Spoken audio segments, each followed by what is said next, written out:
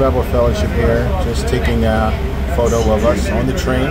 We're in the first car. It's pretty interesting. May God richly bless you. Back from our trip of tracting, we're just learning not to strive and to uh, be a faithful witness. May God bless you all.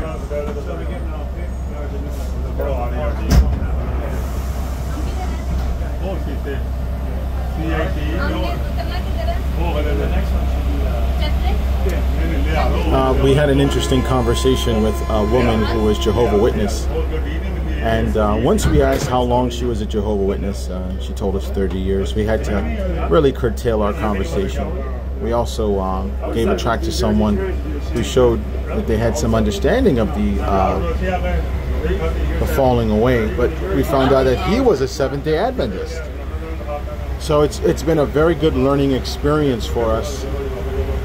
That just because someone is in agreement with the tracts, it doesn't mean that uh, we ought to rejoice right away. That's something that I've been doing. Uh, a lot of our mission trips is rejoicing uh, that someone is is accepting the information, and and now I'm learning that is not a wise thing to do. We leave it in Jehovah's hands because you know some people are receiving these tracts and you do from time to time get some you know positive encouragement but that's all that it is. It's just positive encouragement. You know salvation is of jehovah.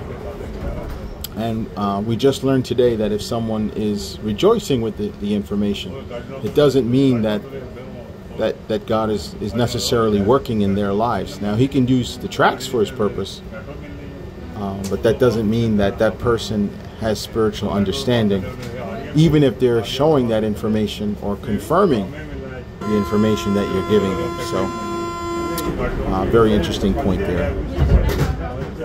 And also, just to recap, uh, we've been taking a couple of trains today, and uh, we went to a small town. Uh, you saw that 20 minute video. You're going to see the 20 minute video uh, today.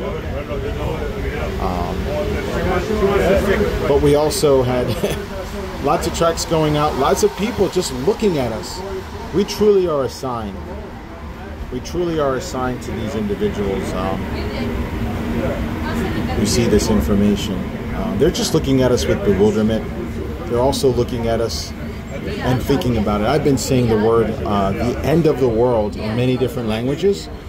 And there was a father, a wife, and two children.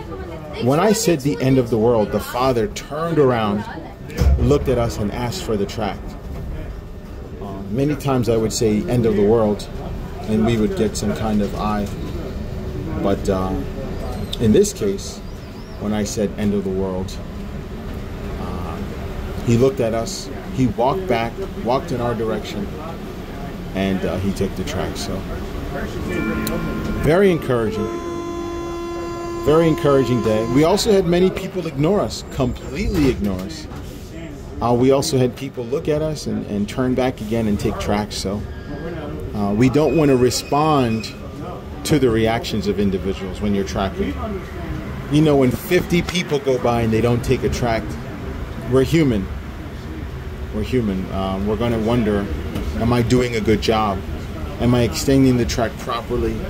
Am I being faithful? So very, very important to consider uh, when you're tracting. If no one's taking the tract, you want to definitely check how you're speaking, how you're moving.